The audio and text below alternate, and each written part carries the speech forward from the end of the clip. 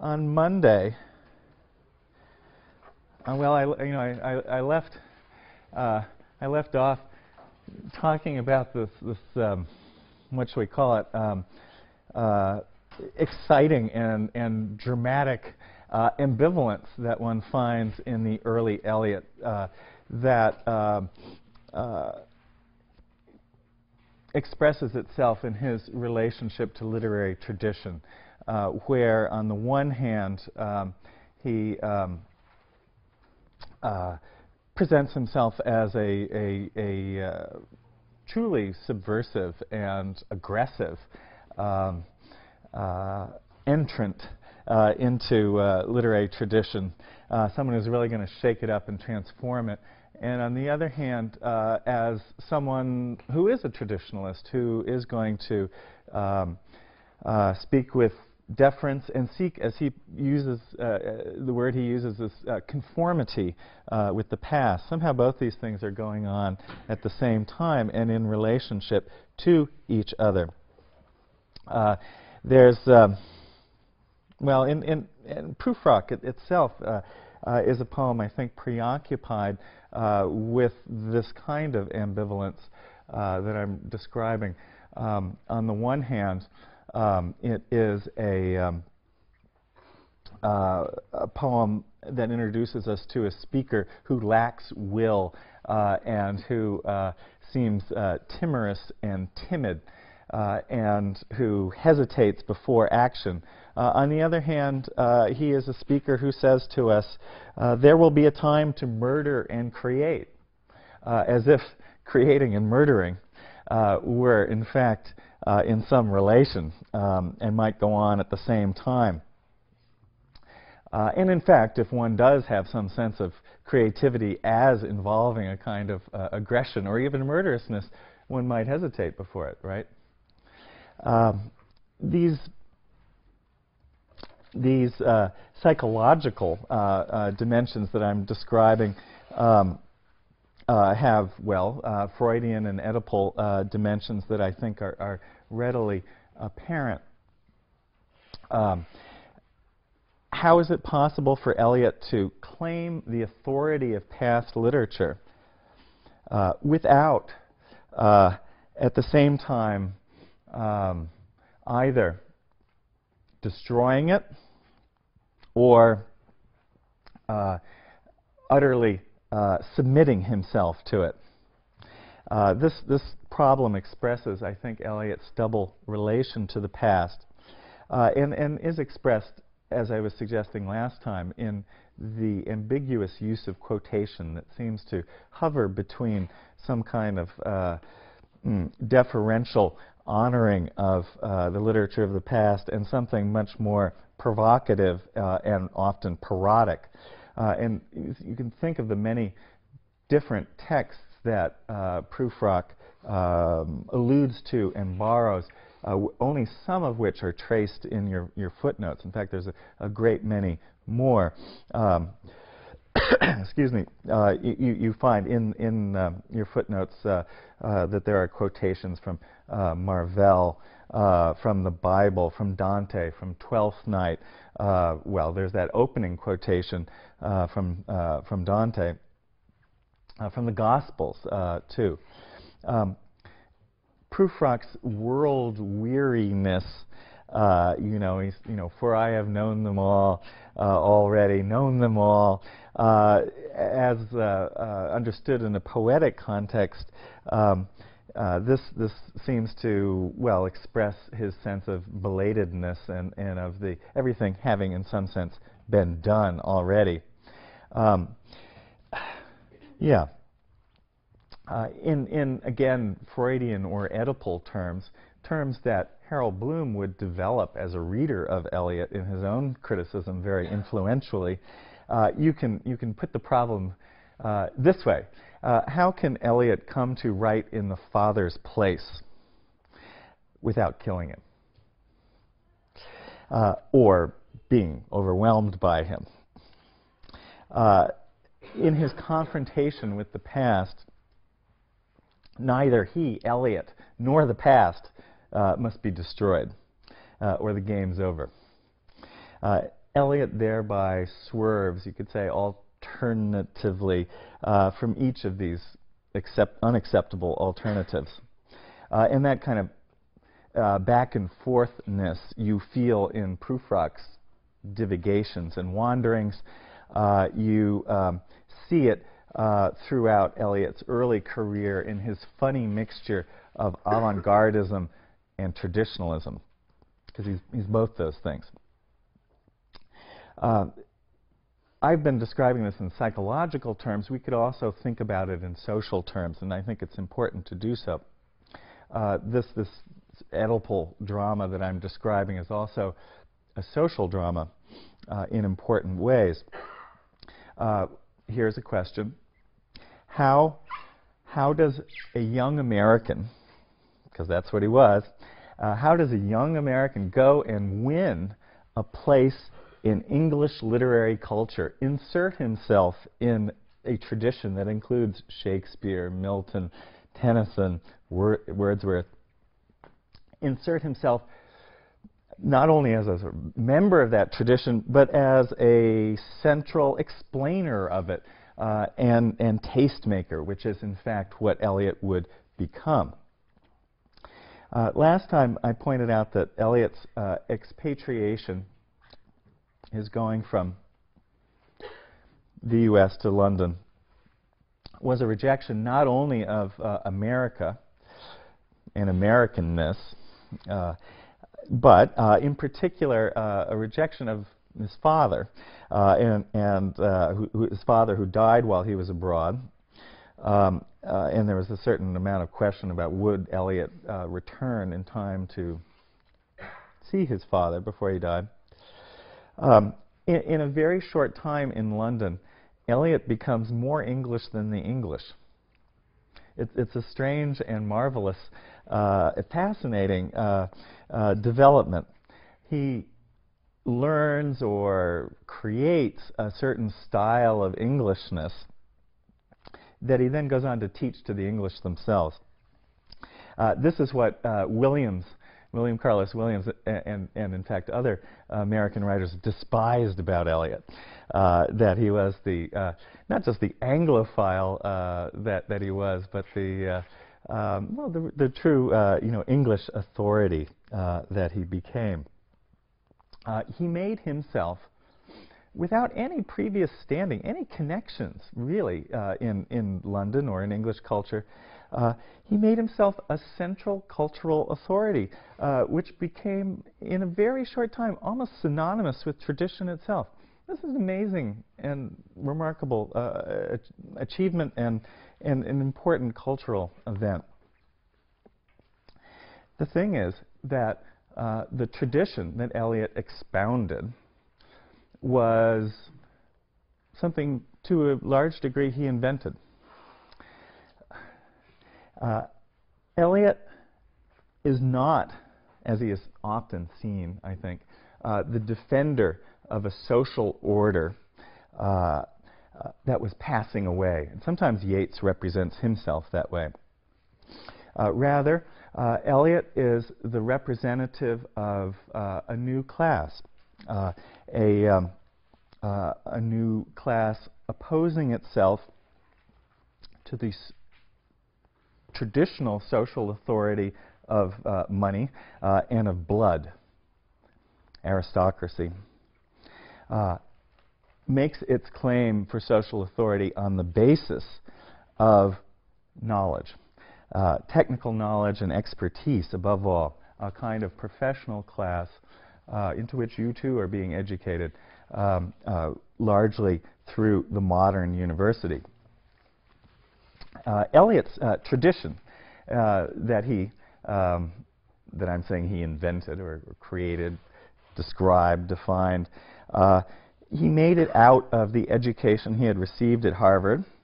Uh, but he also, importantly, made it outside of the classroom, uh, in part in the school of Ezra Pound, um, who you, you, might remember from last week specifically also when he expatriates, leaves behind the vulgo, the, the, the people, uh, and uh, sees himself as entering into some kind of uh, timeless uh, tradition that he identifies, Pound does, with the spirits of irony and destiny. That's his, his phrase uh, to describe the great writers of the past. Eliot also um, enters this, this kind of semi-imaginary community of tradition. Uh, Eliot's sense of tradition is established uh, in part through uh, his quotations and allusions uh, in his poetry. Uh, in part, and importantly, and I'll talk more about it today, through his criticism. Uh, this, this kind of tradition with which Eliot allies himself, you could say, bankrolls everything he does, uh, legitimizes and authorizes, gives sanction and precedent uh, to what was Eliot's strange new poetry. Uh, Frost, do you remember, as he says, goes to market uh, so he could stand on his own two feet. Well, uh, Eliot went to tradition uh, to establish his autonomy. Uh, and and uh, tradition allows him uh, to, well, to stand apart both from the genteel audiences that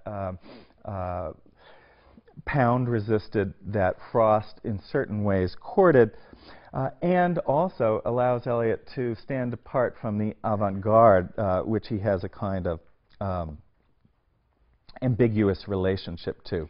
Um, allows him to stand apart, you could say, from the audiences of both a magazine like The Atlantic or Harper's on the one hand, and on the other hand, uh, a magazine like The Little Review or Blast, even, where he did appear uh, or, or Broom, uh, some of those magazines I showed you in the first week. Uh, Eliot's own magazine, which becomes an important vehicle for his work and his ideas and his authority and his presence in literary culture, his magazine was, and you can go back and look at, uh, look at its cover uh, in, in the images for the first week, his magazine was The Criterion uh, a magazine that, that had a kind of semi-official look uh, and, and represents a kind of fantasy of, uh, I think, of a kind of institutional and universal authority. Well, uh, how do you go about uh, inventing tradition? In order to do so, Eliot had to, uh, had to demonstrate that the received existing tradition was a false one. Uh, the Metaphysical Poets is the, the great and, and uh, peculiar, in many ways, essay in which uh, Eliot uh, undertakes this work in a very influential uh, form. And I'd like to look at it with you for a few minutes. Um, it starts in 950 at the back of your book and goes to 953. this, was, this was a book review. This is one of the great book reviews in the history of English uh, uh, criticism. Uh, Eliot was reviewing uh, an anthology uh, of the metaphysical poets. Uh, that is, poets of wit, in particular of the um, largely of the 17th century, including um, poets like Donne, um, whose reputation Eliot did a great deal to uh, establish in this century. uh, in the process of reviewing this anthology, Eliot comes up with a whole uh, alternative theory uh, or alternative history of English literature uh, and, and uh, certain key poetic propositions and statements. Let me just emphasize a few of them for you. You'll see how, how um, uh, the account of literary history uh, and Eliot's own ideas of poetics are all kind of mixed up, uh, uh and so you have to consider them together. On 951, uh, he has just he has quoted um, Donne, and then he's quoted um, Tennyson, and, and the idea is that Donne is good, Tennyson is bad. Now, uh, he, will, he will continue and say, the difference is not a simple difference of degree between poets. It's something that happened to the mind of England between the time of Donne or Lord Har Herbert of Cherbury and the time of Tennyson and Browning. It's the difference between the intellectual poet, that's a good kind of poet, and the reflective poet. Bad. Uh, Tennyson and Browning are poets, and they think. But they do not feel their thought as immediately as the odor of a rose. A thought to Donne was an experience. It modified his sensibility. Uh, evidently, uh, he felt his thought as immediately, as sensually, as the odor of a rose. When a poet's mind is perfectly equipped for its work, it is constantly amalgamating disparate experience. The ordinary man's experience is chaotic, irregular, fragmentary. Maybe quite a bit like Prufrock's, you would think. Uh, the latter falls in love or reads Spinoza. and these two experiences have nothing to do with each other or with the noise of the typewriter or the smell of cooking. In the mind of the poet, however, these experiences are constantly forming new wholes. Well, uh, you can you can see there a little recipe for uh, for an Auden poem. Uh, excuse me, well maybe for an Auden poem, but for an Eliot poem. Uh, it's a poem about falling in love, uh, reading Spinoza and listening to the typewriter while somebody cooks something. Uh, we may express the differences by the following theory, and, and note that we. Uh, you know, El Eliot has this we that you just have to bow before when he uses it, uh, or join him, I guess. Uh, the poets of the 17th century, the successors of the dramatists of the 16th, possessed a mechanism of sensibility which could devour and that's an interesting word, any kind of experience. They are simple, artificial, difficult, or fantastic, as their predecessors were, no uh, less nor more than Dante. Uh, in the 17th century, however, a dissociation of sensibility set in, from which we have never recovered. In this, uh, in, what does he mean? He, he means thought and feeling have somehow come apart. And this dissociation, as is natural, was aggravated by the influence of the two most powerful poets of the century, Milton and Dryden. And then he goes on to complain about Milton and Dryden, and then follow the um, uh, um, uh, romantic uh, inheritance of, of Milton and Dryden in the next paragraph. Uh, he says, the sentimental age began early in the 18th century and continued.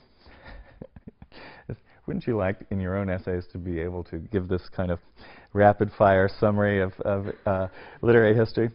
The poets revolted against the ratiocinative, the descriptive. They thought and felt by fits unbalanced. They reflected. In one or two passages of Shelley's Triumph of Life, in the second Hyperion of Keats, uh, there are traces of a struggle towards unification of sensibility. But Keats and Shelley died, and Tennyson and Browning ruminated. it's, it's, it's, amazing literary criticism. Uh, well, uh, here is here is quite uh, an extraordinary uh, account of of um, English uh, literary history.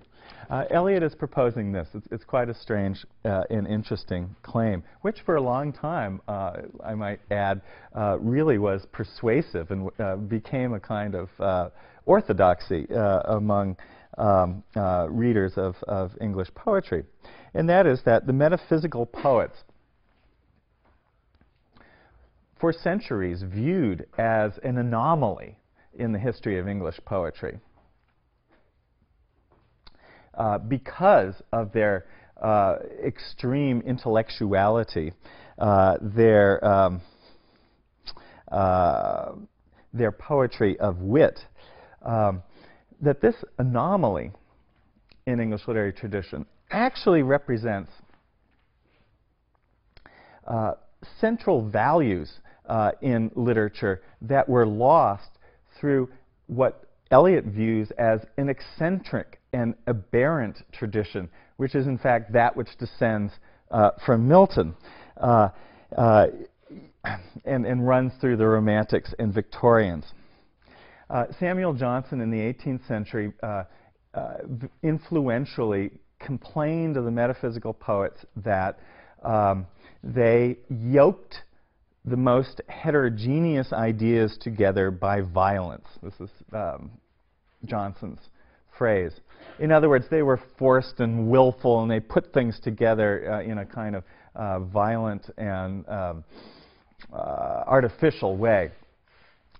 Eliot is flipping that around, and he says, only the metaphysical poets united thought and feeling. Uh, and it's uh, these other poets that are uh, uh that have been uh, deficient and and and uh, marginal to the main mission of um, English poetry, and that um, they are symptomatic of some derangement in the mind of England that he calls a dissociation of sensibility, which somehow set in in the 17th century or so. All of this, this whole sort of uh, account of, of how English history, uh, English literary history developed, uh, all of this in this essay suddenly, without any preparation, turns into a defense of modern poetry. Uh, or you might say a defense of Eliot's uh, poetry. Uh, he says, um, without, as I say, really any preparation on the bottom of 952, it is not a permanent necessity that poets should be interested in philosophy, as I was, or as I am, uh, or in any other subject. We, and there's that we again, uh, can only say that it appears likely that poets in our civilization, as it exists at present, must be difficult.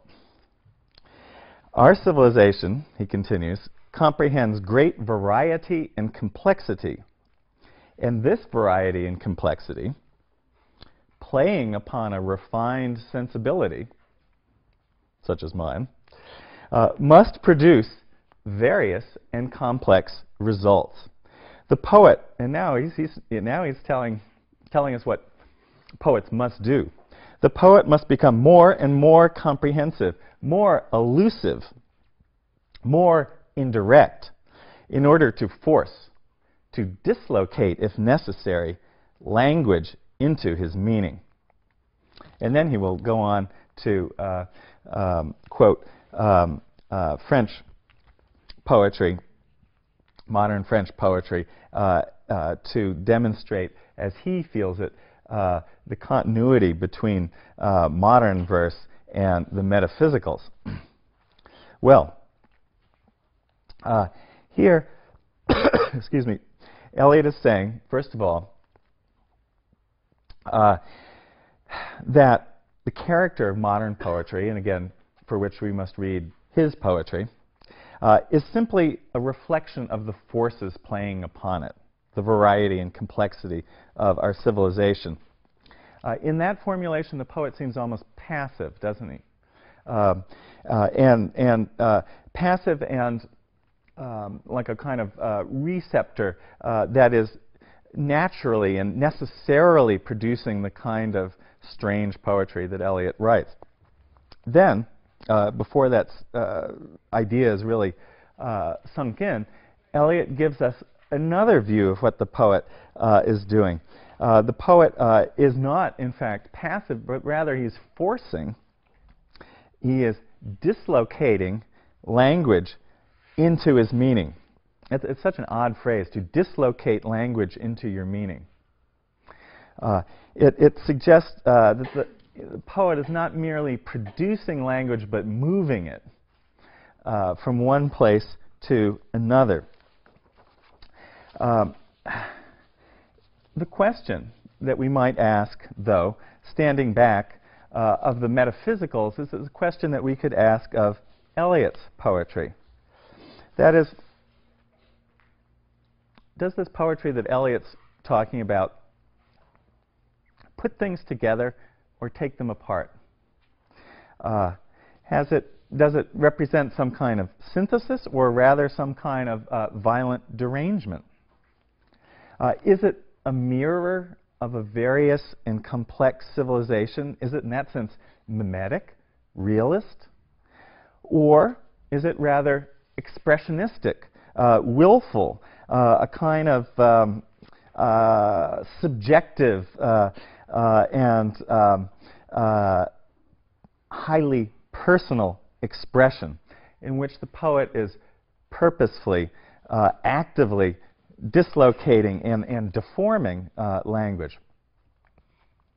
Uh, is it, in, in, in this sense, a poetry that is a, a kind of necessary and inevitable expression of the age? Or uh, is it perverse and eccentric? Uh, an arbitrary assertion of authorial will. Uh, these are these are questions that um, uh, Eliot's own work, as I say, raises, uh, and that that um, are part of the history of his reception. Uh, Eliot, in his account of uh, the metaphysicals, and then in his defense of his own kind of poetry, uh, seems, I think, to equivocate to a degree between uh, these alternatives. Uh, equivocation is, again, the key rhetoric uh, of Prufrock uh, and, and of Eliot's early poetry. Um, of Prufrock's temporizing and his delays and his going back and forth. Let me say just a couple more things about Prufrock in the light of uh, what I've just been quoting from you, uh, quoting for you from um, the metaphysical poets. Uh, Prufrock has a kind of ambiguous relation to the past, uh, and specifically to uh, the past of English Romanticism. Uh, the poem is simultaneously a deconstruction and critique of the romantic ideals and values of uh, originality, of expressiveness, and uh, it is also a highly original and expressive reworking of those ideals. Uh, it's, a, it's a kind of anti-romantic poem that is an extension of Romanticism. Unlike the conventional love song, this one comes from the head rather than the heart. Uh, or uh, you could say, really from that opening quotation from Dante on, it comes from, comes out of many other texts. Uh, I think there, there's a kind of suggestion or, or implication in the poem that um, uh, what people claim is original and primary uh, is always, in some sense, already scripted. That consciousness, uh, the way our minds work, is linguistic. That we think and feel through language, with language, uh, and through uh, a kind of collage network of verbal associations uh, made out of texts and phrases from uh, not only literary tradition, of course, but uh, the whole spectrum of everyday life. Uh, original speech, heroic action, the will, unmediated desire, these ideals are all rejected in, in Prufrock uh, parodied, uh, subjected to irony, discontinuity. They're seen as romantic illusions, uh, cliches. But the poem is not merely a parody of them, or maybe through parody it does something else. It is, of course, in its own way, uh, quite as daring and disturbing a poem disturbing to the universe of poetry, at least, uh, as any, uh, as any modern poem. Uh, and I think you can see it as, in effect, a new kind of love song, uh, one in which the withdrawing of desire from uh, an object, our, our consciousness of our own desires, subject them to reflection, but at the same time sustain them uh, and, and revoice them through reflection. You could say that what the poem does is to intellectualize longing. And uh, behind that, it makes of the modern skeptic and intellectual a new kind of romantic hero. What does Prufrock want ultimately? Uh, what does he mean when he says, no, that's not what I meant at all? Well, it's hard to say exactly, uh, but the poem does uh, conclude, uh, and as it does, it gives us a kind of answer, I think. Uh, why don't we look at the end of it? That's on 466.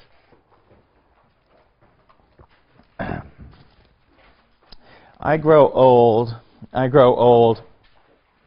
I shall wear the bottoms of my trousers rolled. Shall I part my hair behind? Do I dare to eat a peach? I shall wear white flannel trousers and walk upon the beach. I have heard the mermaids singing, each to each. You see, he, here, uh, Prufrock has moved into these rhyming tercets. He says, uh, quite simply and definitively, I do not think that they will sing to me. I have seen them riding seaward on the waves, combing the white hair of the waves blown back when the wind blows the water white and black. And as he describes this, there's a kind of heightening of conventional uh, lyric language with that alliteration and with those images. We have lingered in the chambers of the sea by sea girls wreathed with seaweed red and brown till human voices wake us and we drown. It's hard to uh, interpret, I think, the, the end of this poem precisely. Uh, I think that uh, Prufrock has really no clarified, no specified desire, except maybe to hear the mermaids. I do not think that they will sing to me, I want them to he seems to be saying. Uh, in a sense, I think you could say he wants romantic singing. He wants to hear it. Perhaps he wants to be able to join in it himself, which is a wish for lyric inspiration, isn't it? Uh, he doesn't want to make love to these mermaids. Uh, he wants to hear them. Uh, he wants to linger with them, to have access to their element, uh, and to that extent to be among them and even like them.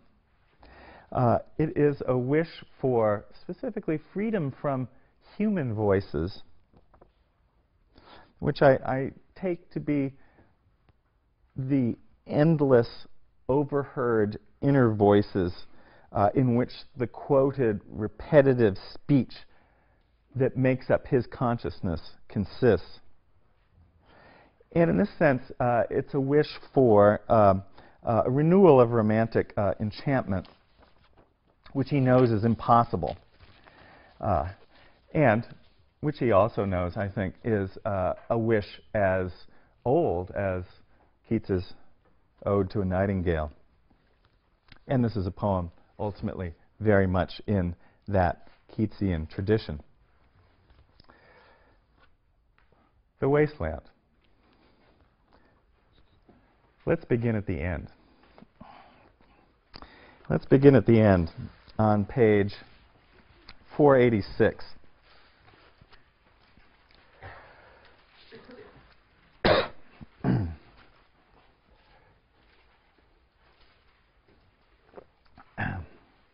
The Wasteland is a poem that, that comes in five parts.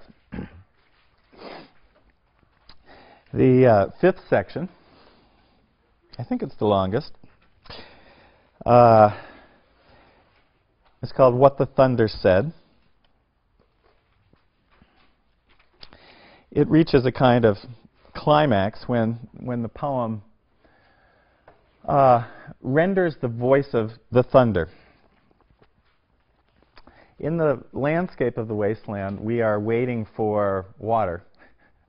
We're waiting for everything that water would represent. And uh, thunder promises that, uh, that water. Um, and um, it also, importantly, represents a kind of speech, a speech that comes out of nature, something that the thunder says, has all kinds of uh, mythological resonance. Uh, you might even view as um,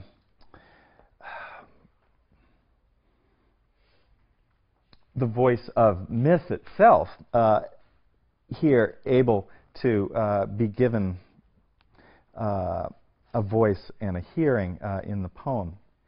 What the thunder says is da. Da. Uh, primary syllable. Uh, there is uh, a note um, uh, uh, explaining this um, coming to us um, from your editor and from Eliot. Uh, it is the first phoneme that becomes part of the instruction, the series of instructions, Datta dayadhvam damyata, translated as give sympathize, control. Uh, what the th when the thunder speaks, this is what it has to say. It gives us these instructions. Um,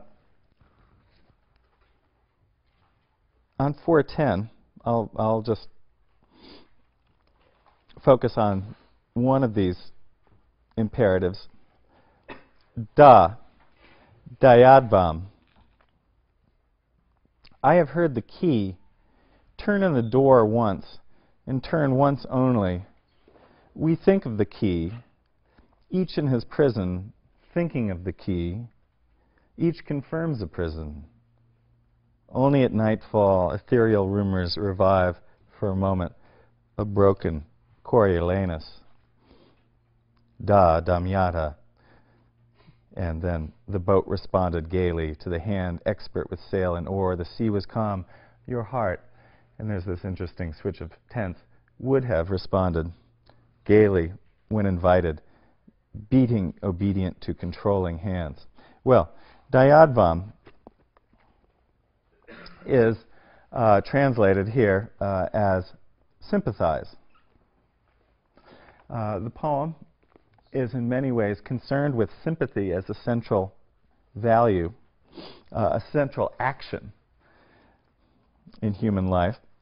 And the lines that, that they introduce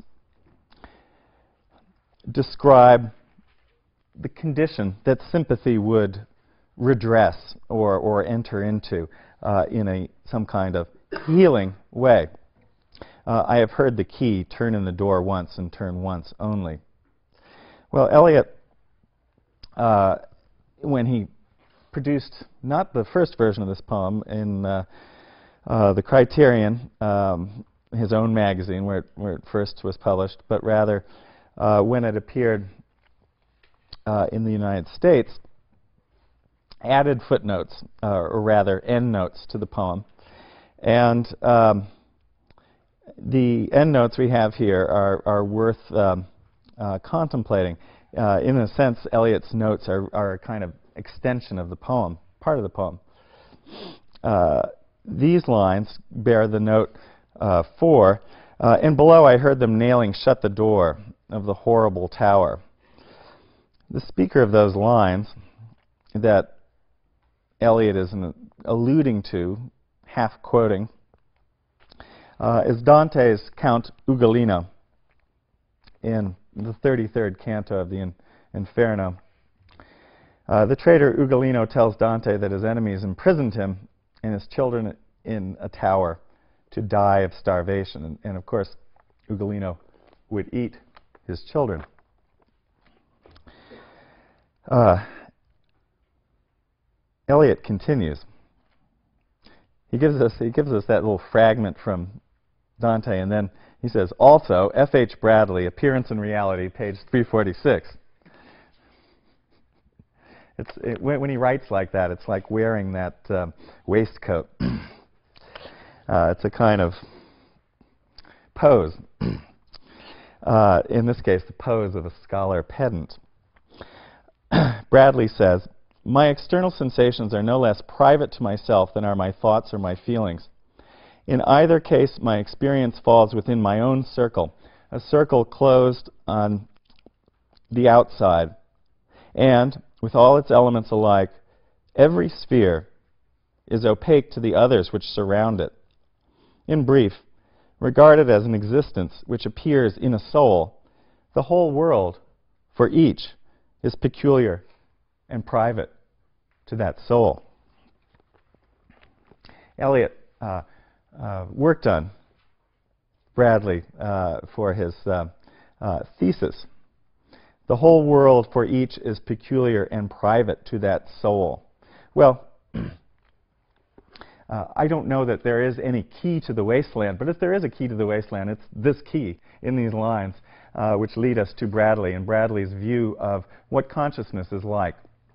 Consciousness uh, is a condition um, in which we are locked into our own, I think, linguistic representations of reality without um, a, uh, uh, a common language to share them.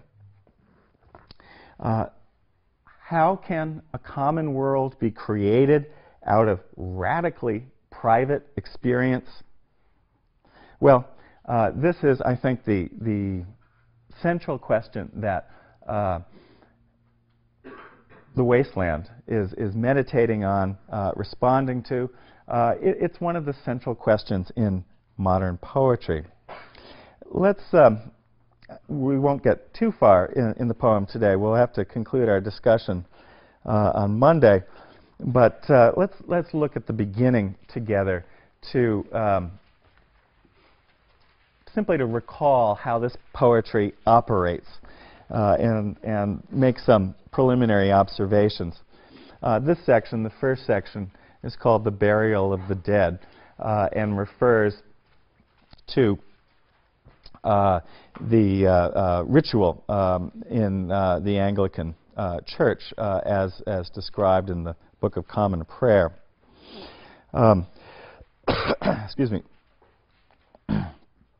April is the cruelest month, breeding lilacs out of the dead land, mixing memory and desire, stirring dull roots with spring rain.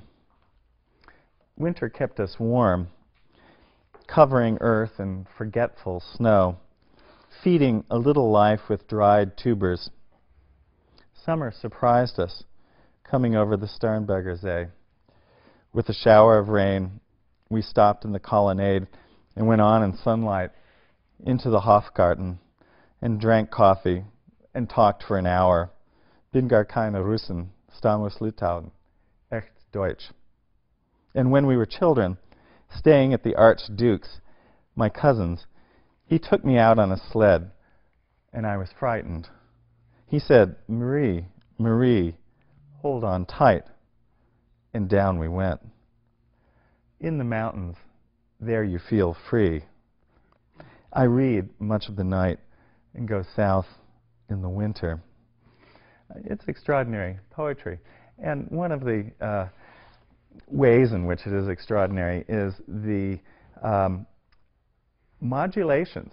And where do we where do we pinpoint the turning points between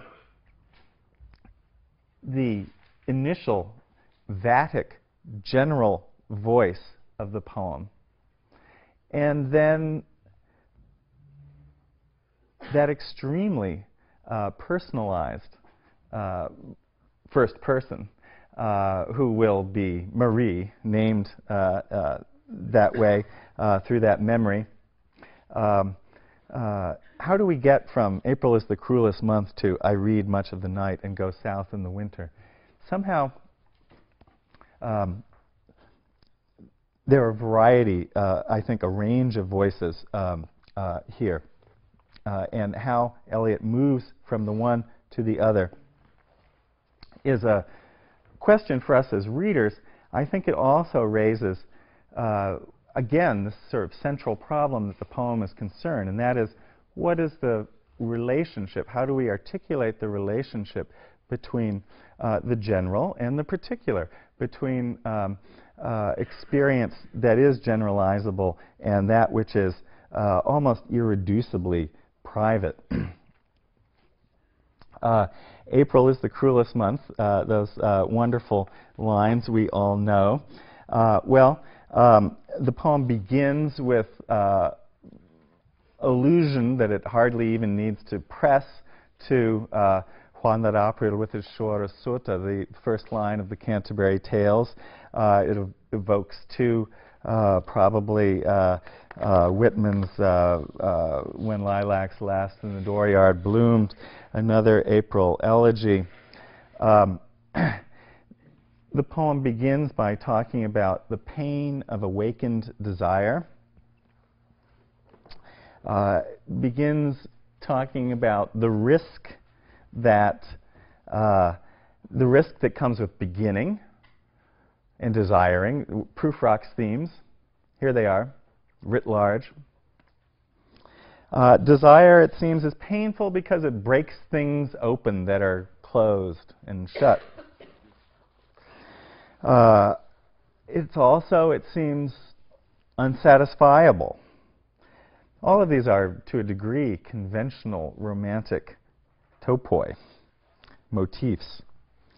Where exactly does the poem uh, uh, modulate into personal memory? Well, maybe somewhere uh, in that, that uh, eighth line, summer surprised us.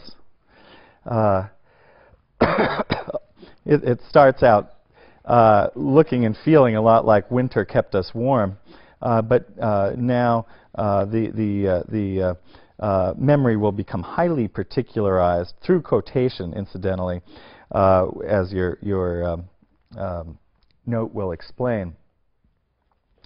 Um, the poem really moves into a kind of opaque set of uh, personal associations.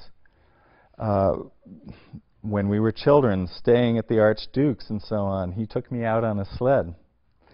Uh, these, these associations are meaningful and resonant and representative, uh, I think, to the extent that they have a generic quality. That is, uh, it's not so much that they are our memories, but they're like memories. They're like personal memories. And they're like personal memories in their, uh, in their very um, uh, the difficulty of translating and sharing them.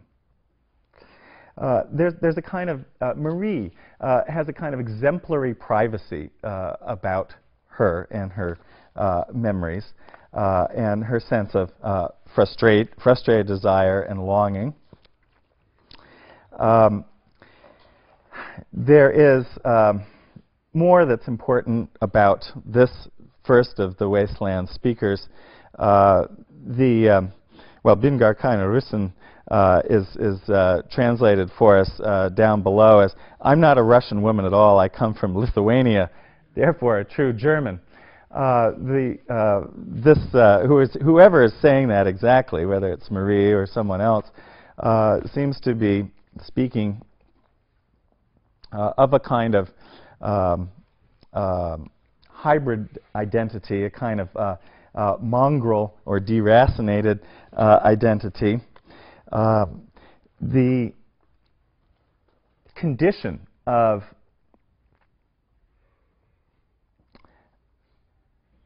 locked in sensibility and, and uh, um, uh, difficult uh, private uh, emotion uh, is from the very beginning of the poem associated with metropolitan culture, a culture where uh, there are many languages, uh, speakers from many places, uh, and, well, to the um, uh, a, a, culture where there are, as it were, uh, a kind of cacophony of languages, uh, untranslated, uh, existing and competing side by side. This is a kind of linguistic environment um, that the wasteland is made out of and is also in many ways about uh, and is the, the, the real medium uh, of uh, experience in the poem. Well, uh, let me stop here, and uh, we'll go on trying to uh, make sense of uh, this great modern poem on Monday.